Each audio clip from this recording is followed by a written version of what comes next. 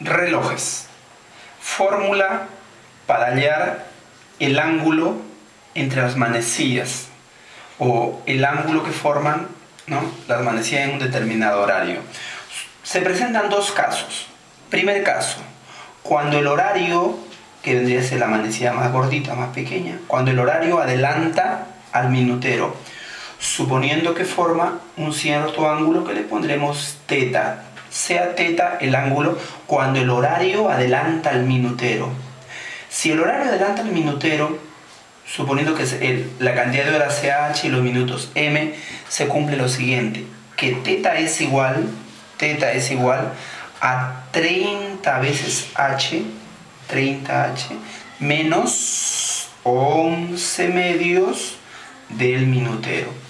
Con esta relación vamos a encontrar el ángulo que forman las dos manecillas cuando el horario adelanta al minutero.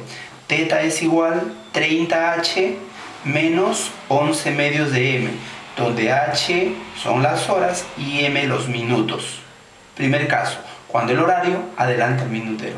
Segundo caso, notemos acá que el minutero lo ha adelantado al horario, el horario gordito, chiquito, y acá es el minutero. Entonces, son, son las horas, los minutos. Acá el, el minutero está adelantando al horario y quiero saber, quiero saber el ángulo que forman acá, que lo llamaremos tetita.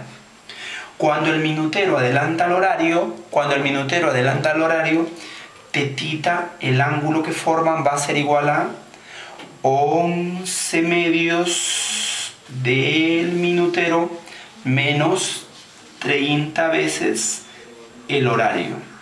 Esta fórmula me sirve cuando, cuando el minutero está adelantando al horario.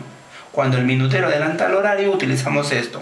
Teta es 11 medios de m menos 30h. Y cuando el horario adelanta al minutero utilizamos esto. 30h menos 11 medios de m. Los casos a recordar.